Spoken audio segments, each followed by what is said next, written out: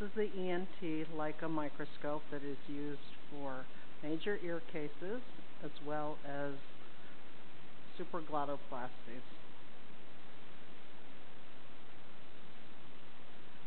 You will notice that this is the power button, the light button, and the camera box. After you've plugged in the microscope, press the power button. Please make sure that the camera light is on. If this light is on, you will not get any image on the screen. The microscope is equipped with two bulbs.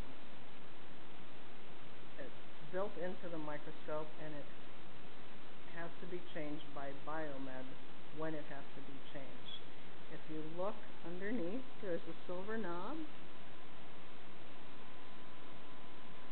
There are two positions for the knob, one for lamp 1 and one for lamp 2. This is one position, and that's the other position.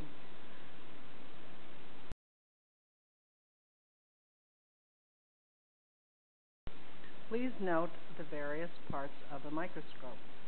Here is the left hand control, the right hand control, the main surgeon's oculars, the assistant's oculars, and the camera head. You will also find the knobs for adjusting various axes. Here's the A knob, which turns clockwise or counterclockwise. Here is the B knob for the B axis. It also turns clockwise or counterclockwise. And on the side of the boom, you will also find the black knob, which adjusts the C-axis. This also turns clockwise or counterclockwise when you are balancing the microscope.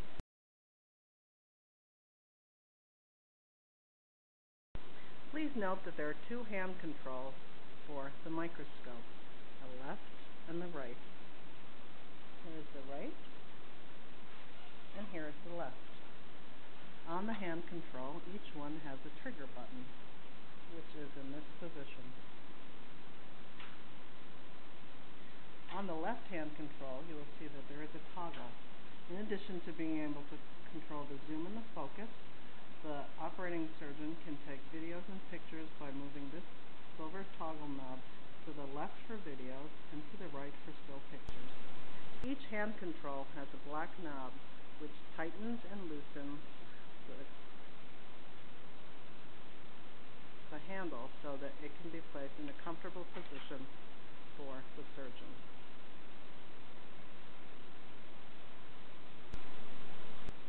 This is a hand control or clutch or brake button. It's in the trigger finger position. It releases the brake so that the microscope can be moved into the position that the surgeon wants it. These are the zoom and focus buttons.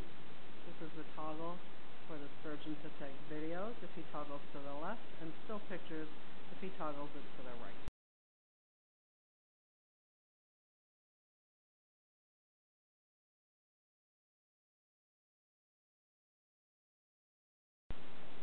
This is the configuration of the microscope for the left ear.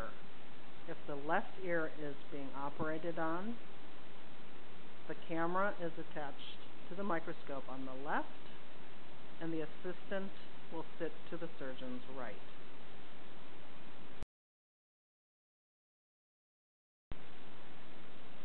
This is the configuration of the microscope when the right ear is operated on.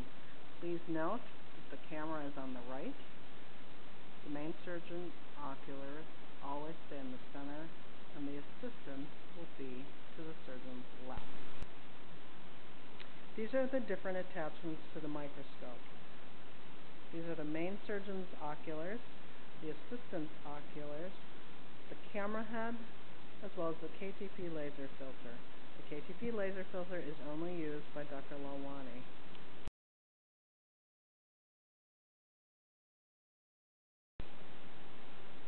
When you are changing or exchanging microscope parts, it is best to do so over a table. It, these are the surgeon's main oculars. You will see that it is attached to the beam splitter. Depending on whether or not a left ear is being done or a right ear is done, it will determine what attachments will go to the left or the right of the surgeon. A camera or the assistant can be attached to the this side, and the same is true on the right side. When you are placing any microscope attachment onto the microscope, it is very important that it is fully seated onto the microscope before you tighten it.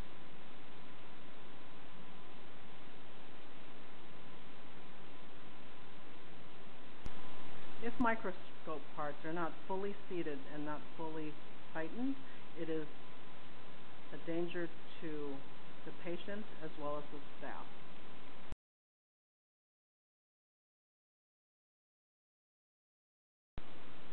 Since the camera is attached to the microscope with a cord, it is important to have the table to set the camera on while you are changing the positions of both the camera and the assistant's eye. The same thing is done with the camera head. You slide it on.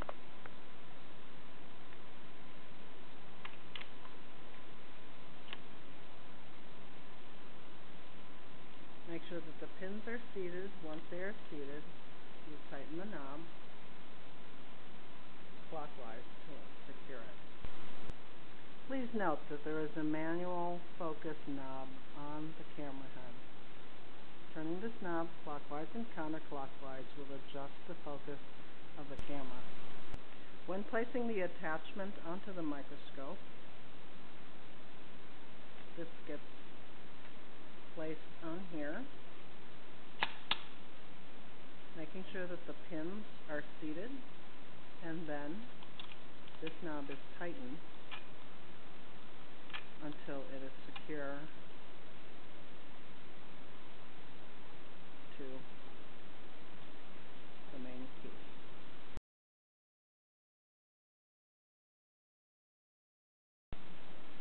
For the best range of motion during a case, these two red triangles on the base and arm of the microscope must be close together.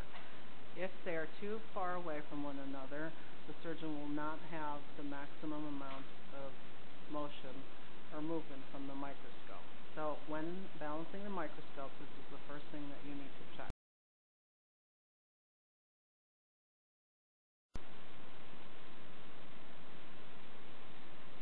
Once you have turned the power on, you will get this screen and it will do a self-check. Please notice that in the upper right hand corner the bright care light is green. You will see that there's balance support. When you press the balance support it will ask you would you like to activate the balance support function? Press confirm. This diagram shows you the different axes that need to be balanced before you use the microscope. A, B, and C. D does not have to be balanced. First, you will press A and B. When that is green, the only axes on the microscope that you will be able to move are A and B. When balancing the A axis, turn the knob clockwise or counterclockwise so that the lens, which is this portion, is at approximately a 45 degree angle to the operative ear.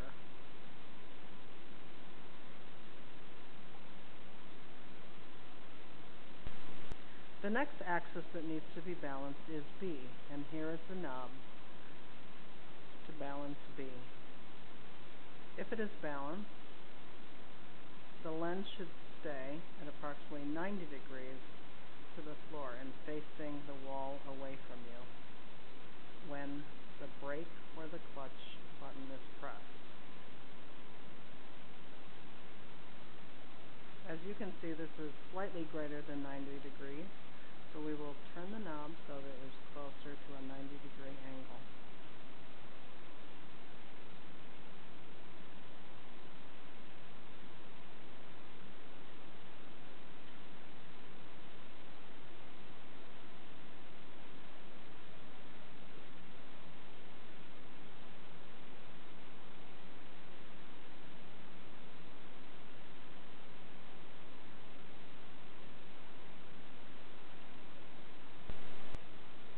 is the approximate angle that you want the microscope when A is balanced so that it is facing the operative ear and is at approximately 45 degree angle. This is the screen that comes up when you turn the microscope on. Before you can use the microscope, it needs to be balanced. In order to balance the microscope, you will need to utilize the balance support by pressing this area. Once this screen comes up and asks if you'd like to activate the balance support function, press the lower left-hand corner for confirm. This is the screen and it indicates to you the various axes which will be balanced, that need to be balanced before you can use the scope. First, you will balance A and B.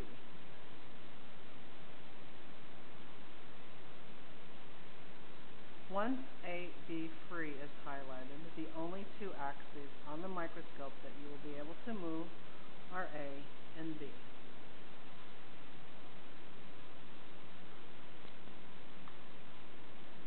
The A knob is located here.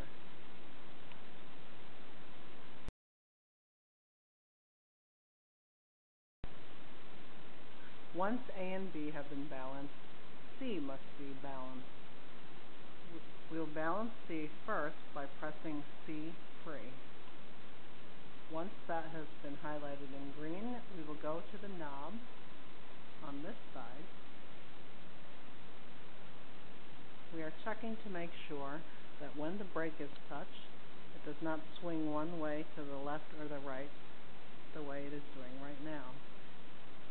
In order to correct this, we will turn this knob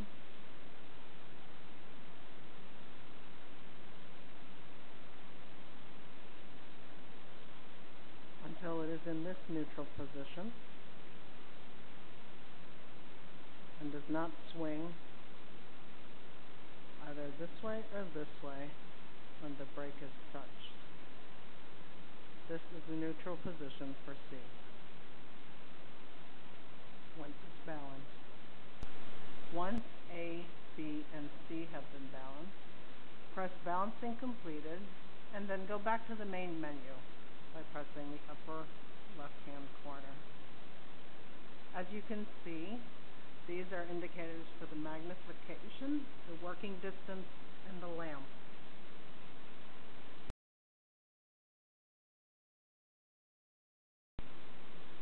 Once you have balanced the microscope, turn on the light by pressing this button. Bright Care in this upper right-hand corner is the self-regulating safety mechanism. This will adjust the magnification, the working distance, and the light brightness so that it is a safe level for the patient. If, for whatever reason, they want to adjust the light manually greater than what the safety mechanism will allow them to, press Bright Care. It will turn yellow. It will also give you this warning that you are turning off this safety mechanism. It will ask you to confirm the safety disconnect before you use it. This is what the screen like. If Bright Care is not on, you will see that it is highlighted yellow. To turn it back on, press it and it will change to green.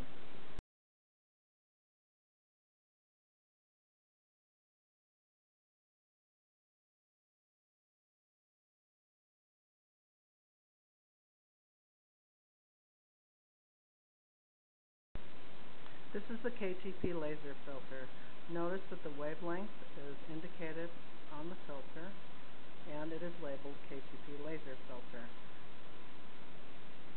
The filter goes above the balancing weight, like so.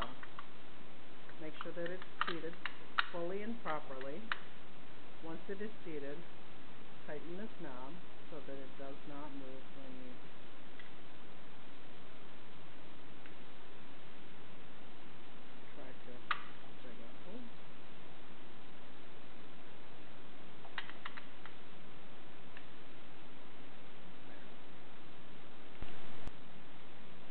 KTP laser filter can be found in the bottom drawer of the Herman Miller in room 1. It is also the Herman Miller where the tracheostomy tubes are kept.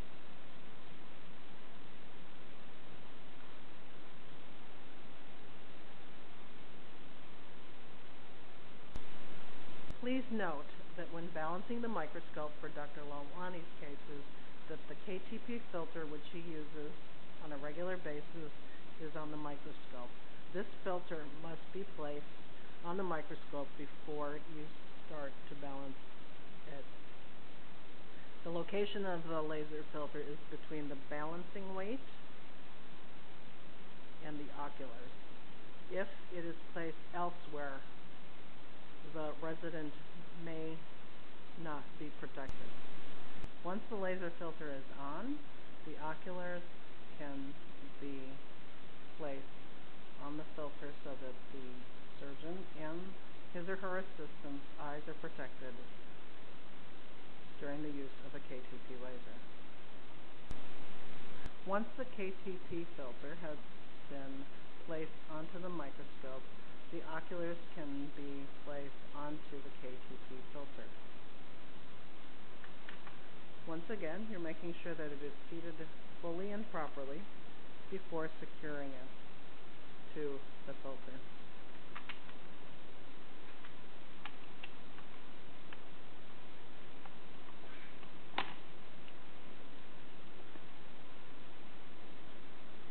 Once it's in place, tighten the knob.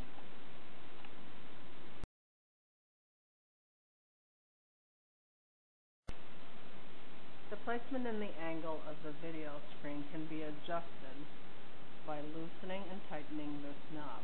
Please remember that the purpose of the video screen is for your scrub nurse. It is most important that he or she is able to see what is going on in the field so that he or she can anticipate the surgeon's needs.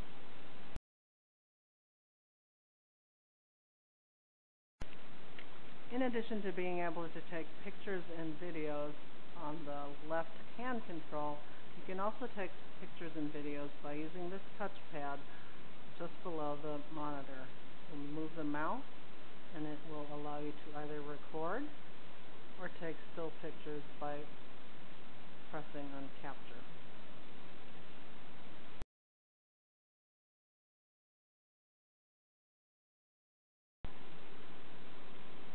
At the end of the case, Please make sure to power down the microscope. Do not simply unplug it. When you power it down, press the power button. The light will blink for some time before it is fully off. Please be patient and do not unplug it until it has done its shutdown procedure.